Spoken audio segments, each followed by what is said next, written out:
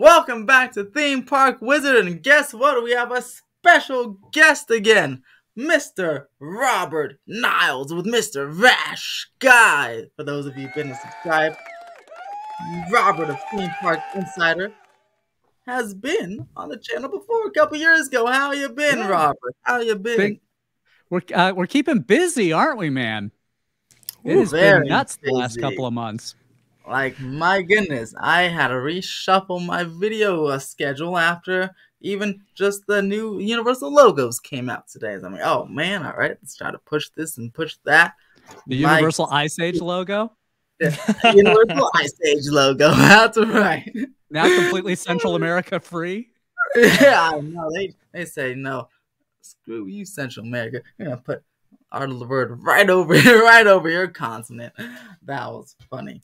And we have, of course, the Vash Sky, freshly squeezed of OG 55, talking all about Disney and their corporate changes on their channel. How are you, Vash Sky? I'm doing pretty good. Doing pretty good. Uh, uh, when uh, uh, Wizard, I, I do appreciate you inviting me. When you said Robert Niles, I was like, ooh, I want to be part of that show.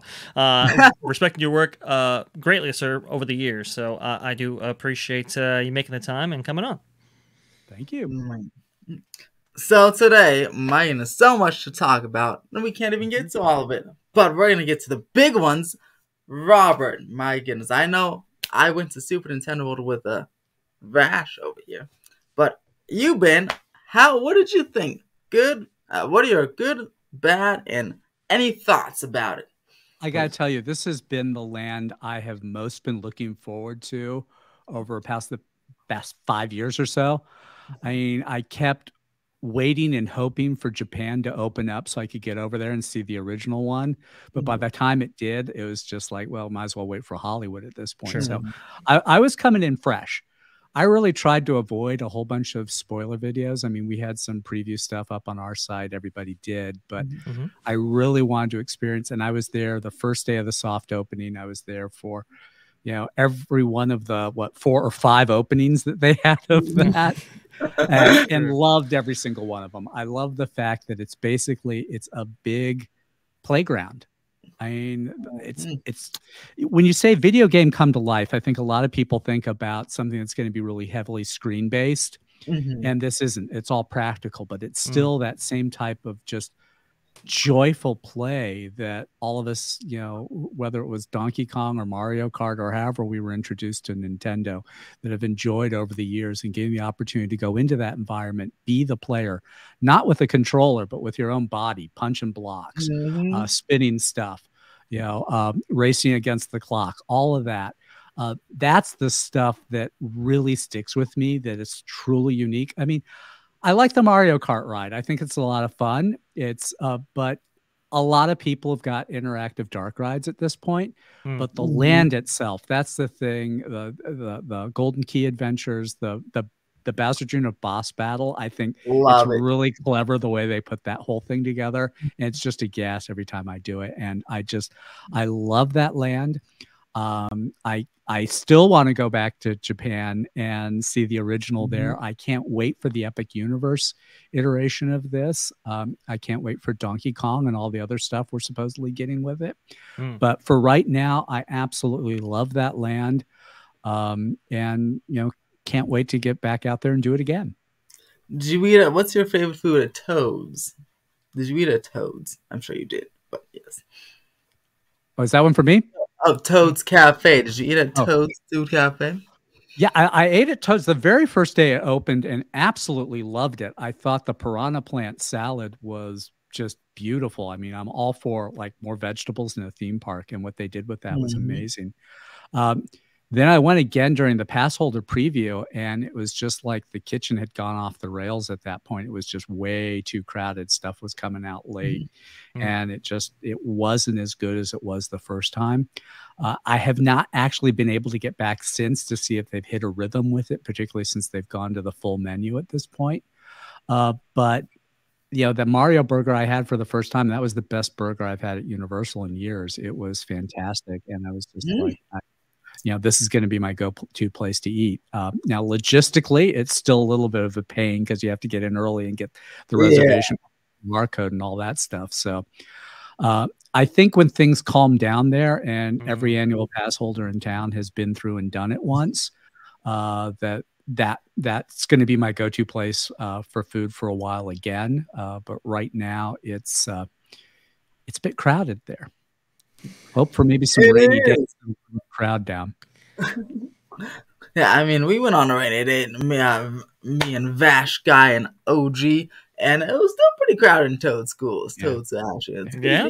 Um, but we had we liked our food as well. You had a little uh, Dre had a little bit of the Luigi burger, and uh, what you have? You had the garlic knots or something. Garlic right? knots, tiramisu. Tried a little of the cupcake. Tried a little bit of uh, uh, your dish, uh, wizard. I mean, the food is um, honestly, it, it it really is excellent, and uh, it's not just the uh, the taste, but the presentation. It's just adorable. It is really really well done in a setting that is just. I mean, it's straight out of a video game. It's it's really really Mhm. cool. Great theming there. And And and I love the operations that they've got there. So you're not going to have a bunch of people just coming in to sit down and kind of watch the show on the walls and everything happening. Uh, you you got to go through the line. You got to get your food. They'll seat you in the in the space in there. So uh, there's no problem getting a seat to eat, which can be a problem at a lot of counter service places at a lot of different theme parks. So I absolutely commend Universal for what they've done with the operations once you order at Toadstool Cafe. That's the way that I think theme parks restaurants ought to be run. Yeah. It's, it's, And- it's almost like a cross between uh, uh, counter counter service and table service. I mean, it's Yeah. Mhm. I, I do agree with you. Efficiency, core principle. I like it. What did you think, Robert, of the prices of the Toads, or of soup and general in general? But in the prices of the food, the cupcake, the popcorn buckets. Um, yeah, I, I. I, I, I avoid popcorn buckets like the plague. um, I do not have an eBay store. I am not a reseller, so I, I have no interest in popcorn buckets. Uh, I will take a picture of them when they drop out, but uh, yeah. Um, the food actually uh, was not bad in terms of the price. Um, honestly, I love the fries. I, I thought those were wonderful. Oh, um. Uh, and so, in terms of you know, basically what you're talking about is a sit-down theme park meal. You know, not bad. I could deal with it. Uh, the forty bucks for the uh, power up band, I think, is going to make people's eyes wa- water a little bit, but it's a Mm. one-time investment. If you keep bringing it back, And it lasts uh, forever. well, it seems like it lasts forever. I'll see how badly I beat mine up. But uh, the only with that is um, if you've got something, it's a slap bracelet, but Mhm. it's a top heavy sp- slap bracelet. So if you can get something that helps kind of keep it tied there, that keeps it Mhm. from Yeah, flying off sometimes. flies off. enthusiastic with punching the question box uh, while you're in the land. That's that's the only complaint I'd have about that. And honestly, I mean, when you look at the price that Disney's asking for the Magic Band Plus, which Mhm. doesn't really, I mean, it's basically it's a ticket that allows you to play a game of Marco Polo in uh, Galaxy's Edge. Um, much better value from Universal's interactives, whether it be the wand or the power up band. Mhm. Yeah, yeah. Dre, what do you think about interactives between Disney and Universal? I know you commented on Oh. that before. Well, that's the kind of disappointing thing about uh, Disney, especially when as it relates to Galaxy's Edge. A lot of, I mean, Galaxy's Edge was really kind of built from the uh, as kind of a core foundational principle of its of its uh, of its design work through the development process as being a, a, a land that was going to be interactive. It was going to, you know, feature a lot of um, uh, you know playmaking and so forth. We heard, oh well, well if you, if you go to the cantina, you're gonna have a bounty hunter, you know, tap you on the shoulder. uh, hey, maybe your your your actions in the land as it relates to like Millennium Falcon Smuggler's Run, for example, you know, might actually follow you and trace you and all that. We saw the Legends of Frontierland test uh, that was, uh, you know, seemingly going to be integrated into inside Galaxy's Edge, and actually, you know, those rooms and corridors and so forth where that implementation was going to be still exists, just it still exists, but just underutilized. So it was really kind of uh, disappointing to see Galaxy's Edge open and just be limited to the app, and like you said, uh, Robert, with the uh, with the with the Magic Band and the game of Marco Polo, right? I just think Universal has just done a superior job when it comes to the interactivity uh, with lands uh, in the modern era. I understand Disney kind of maybe started that trend uh, with Toontown and so forth back in the 90s, but for a modern land, uh, the implementation at Nintendo and Wizarding World, for that matter, far superior. I mean, basic lesson in business is you gotta like under promise and over deliver. Absolutely. And Disney mm-hmm. just did the exact opposite. Mm. They promised a mm-hmm. bunch of stuff with Galaxy's Edge. I mean, I was there during the previews. I heard them promise this stuff to us. It's Yeah. not like this, these were all rumors that bloggers just made up. This was stuff coming from the highest level of Disney. Absolutely. And and they didn't they didn't deliver it. And what they did deliver was on a secondary app that is a battery hog.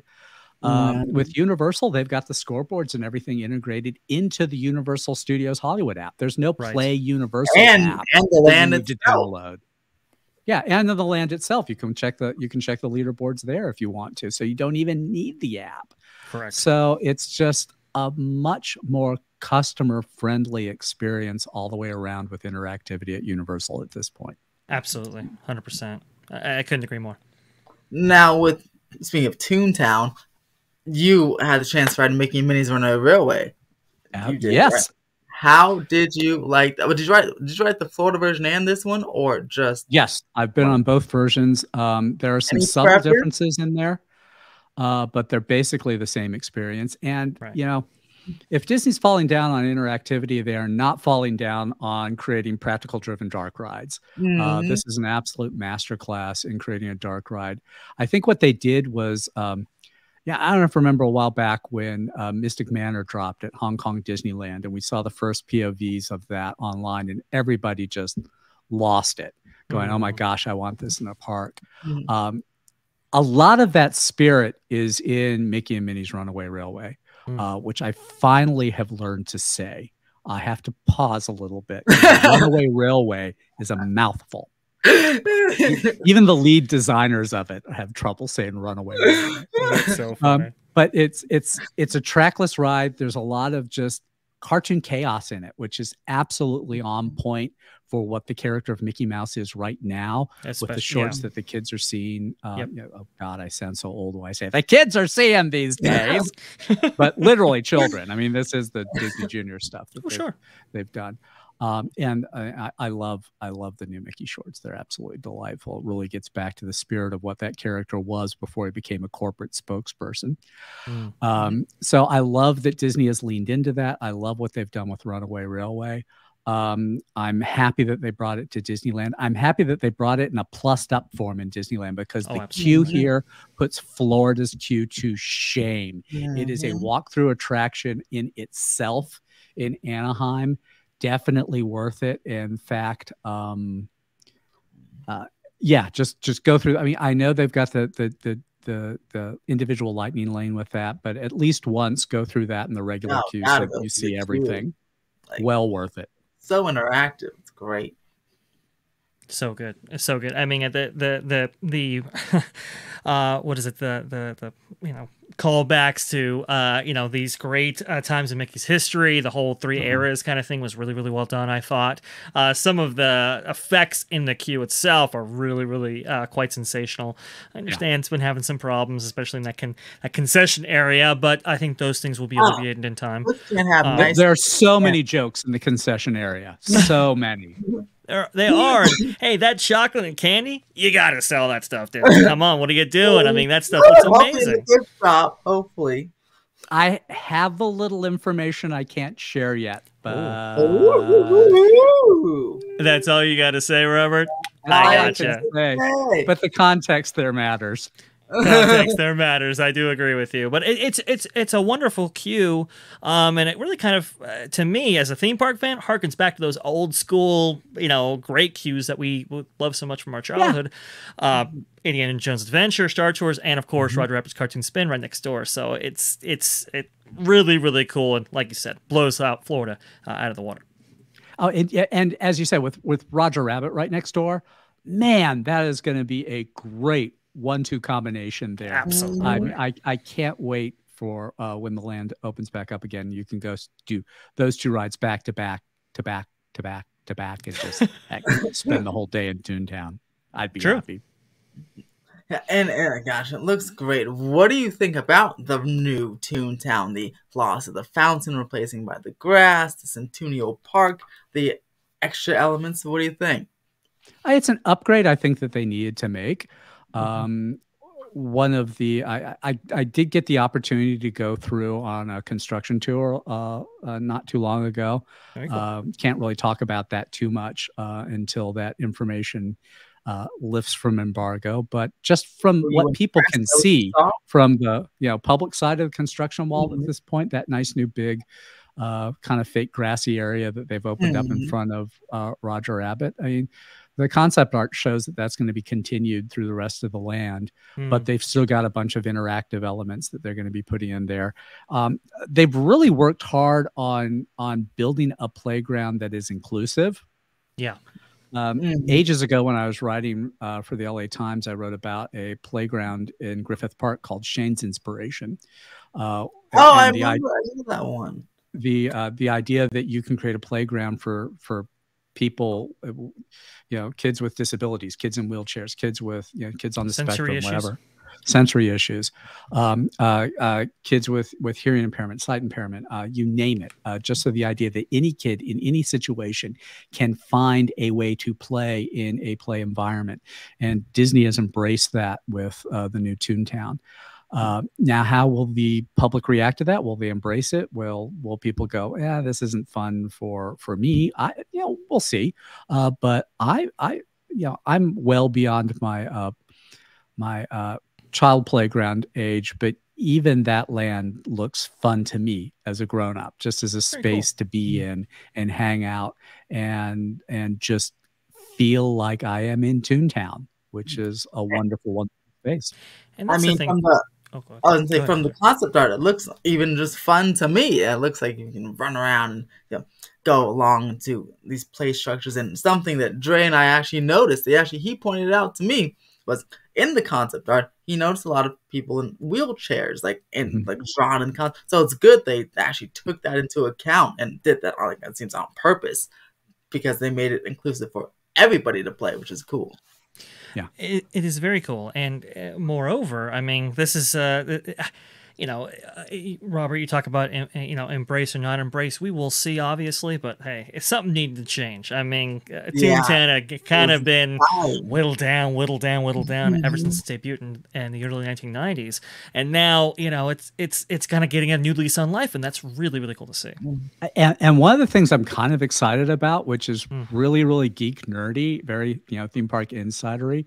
is honestly advances in paint technology. Mm. Because when you think good. about it, that thing got so faded over the mm-hmm. years. Now they're going in with 2023 paint now that can actually hold color in California sunshine for longer than three months. So the idea that Toontown is still going to look like Toontown as mm. opposed to some dilapidated thing outside of Vegas in the desert, that's exciting just on itself. Now is. you got that confirmed by the uh, creators, Robert. Um, no. okay, so we'll see. We're hoping. But I'll I'll say this. I mean, if you look at you know what they did with um, like Pixar Pier, Mm-hmm. That has not faded anywhere near as much as I thought that that was going to be fading. That's true. If you look at the stuff that they've done with actual colors in the past five or five years or so, um, it's become pretty standard now with Disney that they're going to these more modern paints that are going to be able to keep their pigment in the sunshine over time. So I have no doubt whatsoever that that's going to be the situation with uh, with Toontown. And okay. you mentioned Pixar Pier. Next to that, we have new project San Francisco. Uh, mixed reactions with the. Uh, did, are you on Twitter much? Do you do you follow those? Yeah, I mean, I'm I'm not like deep into Disney Twitter, but you know, I'm on there. Because um, uh, so you've probably seen the mixed reactions of why do we need this or this is great type of going on there. I think it looks kind of cool. I mean, it's an, an adding more Disney to the Disney in California type of thing. Hold on, oh, looks like we got a screenshot popping up. I'm excited for really the main element, of course. Here the uh, that you wrote up, sir. Here the uh, the San Francisco Golden Gate Bridge, whatever it's called. Um, what do you think of this overall project? You think it's necessary? I think it looks pretty cool. What do you for think? for people who are uh, original uh, Disney California, I'm sorry, Disney's California Adventure fan who are missing the Golden Gate Bridge from the the front entrance. I think this will be a Nice nice little homage. callback there. I mean, Mhm. it's it's a Torii Gate, it's not the Golden Gate, but you know, it's it's a call out. Um, I think clearly the memo has gone out that everything has to be IP, and if Mhm. it's not IP, it needs to be made into an IP. Yeah. Um, and there was no making. There was nothing in the pipeline that was going to make, um, you know, Pacific Wharf into a Disney IP, but they had San Francisco just sitting there, and it's underutilized in the parks. And as much as I would like to see them lean into doing a San Francisco land on the scale of what they're doing with Zootopia in Shanghai, Mm, that I ain't mean, happening right now. yeah. So we get this thing. I- I think it'll be a nice decorative makeover. Uh, Mhm. If it's an excuse to upgrade the food service in the land, that would be always a plus. greatly, greatly appreciated. Yes. And if we get a Baymax and with the Baymax meet and greet, okay, I'll take this. I mean, yeah, I'll take it.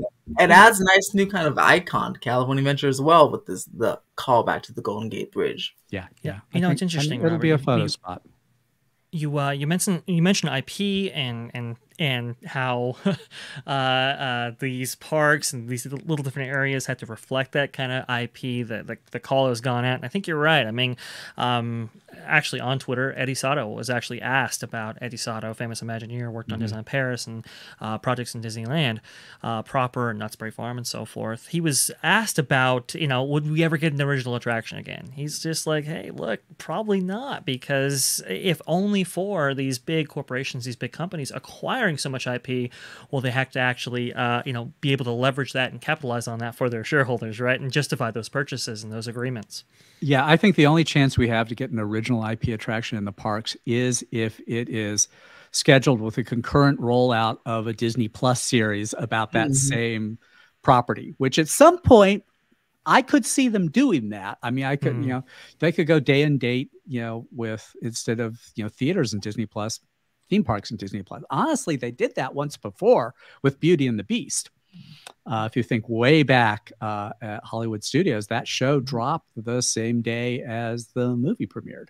Wow. So uh, they could actually do that. The thing is, that's a huge risk because uh, Mhm. theme parks are so capital intensive, and you're not going to. you can pull stuff out of theaters in a couple of weeks. That park's going, that attraction's going to be there for years. But if they found something that they truly believed in, and uh, please be something from Society of Explorers and Adventurers.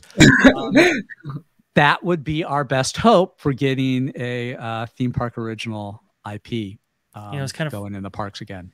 It's kind of interesting. Uh, that's why I, I did. Do you remember reporting about a certain concept for like a black box type attraction?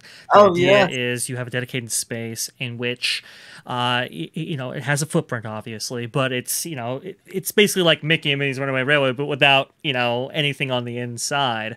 But it could provide a canvas by which you could promote things day and date, but not be married to them, let's say, and you could switch that over. Do you remember all that? Yeah, yeah. I this this idea gets kicked around a lot. I mean, remember at Universal Studios Hollywood, Mhm. DreamWorks Theater was supposed to have a rotating thing of different. It wasn't just going to be Kung Fu Panda forever. Mhm. How many years has it been? And it's still Kung Fu Panda. Quite a lot. Uh, True. inertia is so powerful in theme parks. Mhm. There are so many different. Th- I mean, it's like having this. It's like having the world's greatest Lego set to go over to another company, um, and you just want to keep play. You play with one thing, and you want to go over and play with something else. All of a sudden, you don't want to keep going back and playing with the same box over and over again. True. And it's kind of hard to promote the same box over and over again. It's easier to promote something completely different on the other side of the park to get people to buy their annual pass or to buy their tickets next year. So that black box concept, I think, is a great one. I think it's a smart move to do. Mm. But it's just like every time someone brings it up, I'm just like, yeah, but you're not going to stick with it. It's just going to become whatever Mhm. it is, is going to be the permanent I thing mean, just like and it's the going to be on uh, the same 20 year life cycle as Yeah. everything else in the park. just That's like so the true. uh, rotating missions of Smuggler's Run, the change ups for Midway Mania, you know. Star Tours yeah. back in 1987. We're gonna have new missions, and well, or well, eventually they did. Hey. They did, they did, but it took a while to get there. Well, like yeah, it was said. the same 20, 30 year process as everything else, you know. Right. And right. speaking of these IPs, there's a big one making the rounds nowadays. Uh, with a certain experience that Bob Iger uh, teased, then D23 magazine says this Avatar experience could be as, as amazing as Disney World's. No, Bob Iger is doing a Q&A tomorrow. It probably has nothing to do, and probably not going to mention Avatar at all, but you never know. You never know what someone could ask him tomorrow in this that his Q&A. But what do you think this experience could be? Small, big, medium, and where do you think it would go? Uh, Disney is usually very precise about its language. So the fact that they're saying experience rather than attraction or mm-hmm. land or park or something else that they would mm-hmm. typically do tells me that this is going to be more on the lines of the sort of thing that we've seen from uh, entertainment in Shanghai than what we're seeing from Disney World. Uh, mm. It would be plussed up, I think, because they got to plus it up. Uh, mm-hmm. but you know, the thing I keep coming back to, the obvious space for this would be um, the building that has most recently been used for um, uh, Launch Bay in mm-hmm. Tomorrowland, the old America Sings Theater. Um, just got the heck out of that and put some great avatar experience in there. And I think people would be very, very happy with it. You don't need to build the mountains of Pandora. You don't need to bring us Flight of Passage. Um, those all be wonderful things, but I think that's going to require um, park expansion, and that's waiting for the whole Disneyland Forward thing with the city of Anaheim before I think that gets greenlit. But man, you've got that huge space sitting there in Launch Bay. Nobody cares about Launch Bay anymore now that Galaxy's mm-hmm. Edge is open. Right. Uh, in fact, it doesn't really make sense to have Star Wars on two sides of Disneyland. um, uh, now, do you want to take Star Tours and make that into an Avatar type of experience. Maybe mm. that's in play as well. Interesting. I don't know, but Tomorrowland is severely underutilized at Disneyland right now, and that seems to me um, an actually theme appropriate. Because uh, the thing about Star Wars in Tomorrowland that always bothered me is it's a long time ago mm-hmm. in a galaxy. Not tomorrow; it's the past. Mm. Pandora, uh, Avatar's tomorrow. We could do we could do Avatar and Tomorrowland, and you know, so I'm I'm rooting for one of those things. I'm also rooting for Imagineering to have been working on this and not Iger's little tease being the introduction of the idea to Imagineering, oh, yeah. which would mean an additional two years of development before we actually see anything in parks. So I'm hoping that something gets announced on this relatively quickly. Well, apparently. Uh, which, oh, yeah. go ahead. Go ahead, Robert. Oh no! I mean, I I, I was going to segue into the uh, changes in Imagineering that we just got announced this week. That's that's very true, and the, mm. it's, it's, interesting that these two things would coincide like this. That's that's a very interesting thing. But uh, I, Iger is not wasting time making no, changes. He really isn't. No, he is and not. We had we had heard Wizard from our mm-hmm. sources that well, expect March to be the month where things maybe get put on the table, maybe things get taken off the table, and so forth. And now, I, I, you know, I mean, Avatar was obviously announced before this, so it's obviously on the table. But you got to mm-hmm. look at some other things for sure. And with Bruce Vaughn stepping in, that is definitely a change of leadership, a change of philosophy, uh, with which you know we could be reaping the benefits of fairly quickly. I would imagine. Yeah, absolutely. I mean, I think clearly Iger wants to see more flowing from the creative side. Yeah. Uh, not just the, uh, you know, Disney housing departments, uh, Disney housing developments in the desert that Imagineering was giving us before, um, which I'm sure they'll make bank on. But uh, yeah, I mean, this, this is a storytelling company, not a real estate developer. So um, Bruce Vaughn helps change the direction of WDI back into a more creative, uh, creative space, and hopefully that's going to lead us to a lot more attraction ideas that can get people excited with more detail and more heft to it than Yeah. the really blue sky stuff that we saw at D23 Expo. the what if segment. I love it. Um, well, it's interesting, you know. I mean, even this article says whatever you know, while the details on the coming Avatar experience at Disneyland remains under wraps, it promises to be as amazing as those found at Walt Disney World Resort. Big claim. The Disneyland Resort announcement has been a long time coming since Walt Disney Imagineers have been working to imagine more ways to bring Avatar stories and characters to life since 2017. So, that kind of uh, uh, maybe doesn't uh, nail down your uh, question about whether or not you know how long this has been working for, but hey, at least they've been thinking about it for some time. well, I mean, I, I, I love the folks over at D23. They do a great job, but their job is to hype, hype, hype, hype, hype. Uh, so yeah, there's hype there. We'll we'll we'll see what it is. But uh, like I said, I mean, people are really waiting for some more substance to this Yes. announcement. Um, Yeah. and I think that's going to be measured in weeks and months, not years. I don't think they can wait to D23 Expo I- I- 2024 to give us something on this. I agree. It would be weird to drop this at Destination D. So, Mm. you know, hopefully this is something that's going to be coming like this summer, some information for folks here on the West Coast. I I uh, I've been talking to you know Wizard because Wizard's like, ooh, could you know he drop it here? Could you drop it here? And I keep circling back to the shareholders meeting in April. I keep Mm, circling back to uh, hey, if if Iger wants to really make a stamp on a company, on on on this company as a kind of a you know new sheriff in town kind of uh, a kind of a, a headliner, uh, then he could announce major projects from you know all the different divisions as they now exist uh, as part of this new structure. And what better way than maybe provide more detail into this Avatar experience? We'll see, but I, I keep circling And- back I to that. I think that's smart. yeah, he did say very soon, and it's what April's the shareholders. I mean, that would be that would qualify as very soon. So I don't know unless he's lying. So, but what do you think? I know back on the Twitter's Twitterverse that uh, someone started being like, "Oh wow, is, is Joe Rohde coming back now that uh, you know Bruce is back?" What do you think about Rohde and any other Imagineer that maybe that may have been left because of Chapek, maybe coming back, being convinced to come back?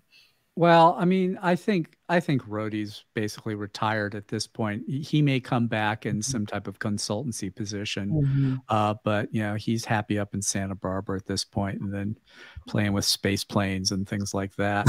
um, I, I, I can't see daily shifts back in Glendale at this stage. I think the biggest issue that WDI has to deal with is the fallout of that um, decision to try to relocate to Florida, and I think that cost a ton of talent.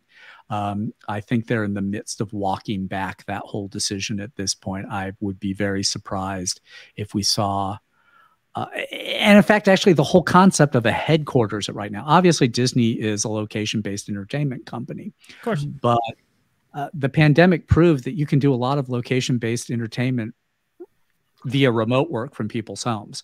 Mhm. And if you really want to diversify the, cl- the diversify your cast, Mhm. if you really want to go out and get the best talent available, if you don't want to bid against yourself for the talent, uh, you kind of have to embrace a new a model where you don't have everyone sitting at a desk in Glen- Glendale or Lake uh, Nona or whatever, but you've got people working for Imagineer all over the world, not just at Disney locations, but people in home offices wherever, uh, including Joe Rohde up there in his new little you know uh, compound up in San- Santa Barbara.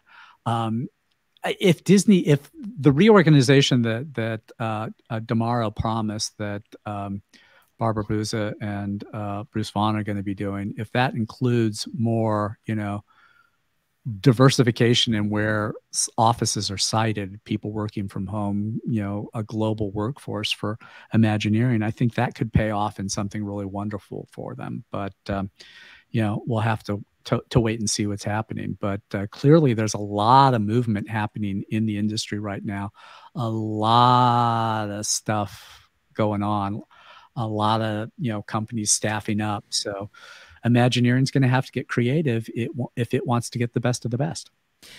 That's a very, uh, uh, very good point. Actually, I mean, and and that's that's the kind of the weird thing is is you know we, have had some stumbles let's say from imagineering as of late you know and the, the two fireworks presentations that we got uh, as part of the 50th weren't you know super well received. Now they're going to be gone in less than a year which is kind of crazy to think about. Um uh or just over a year. Um I, I you know we we we have uh you know we have tron and you know, some people have been arguing about that. I think it's going to be a real kind of a successful uh, yeah. attraction, but some people mm. have kind of been complaining, well, it's too short, it's too this, whatever. And uh, you know, there's obviously some controversy surrounding some other projects as well. I, I think it was a very a good step by um, Josh D'Amaro, honestly, quite frankly, to to to bring somebody back into the fold like Bruce Vaughn to kind of just settle things down yeah. if we're going to be ramping up. I think it's a good move.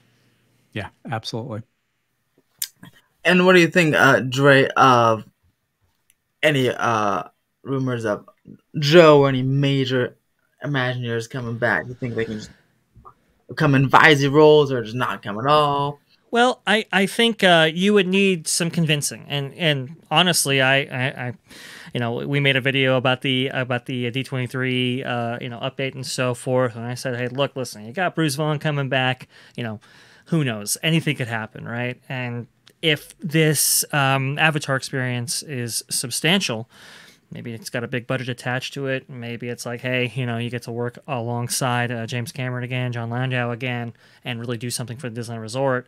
Uh, you know, maybe it's possible, but Robert, you make a good point here. I mean, he does have obligations uh, over where he is in, in his compound in Santa Barbara. So it's like, would he, how can you convince him to come back? We'll say Bob Iger and James Cameron, you know, they can be very um, convincing sometimes. So we'll yeah. see.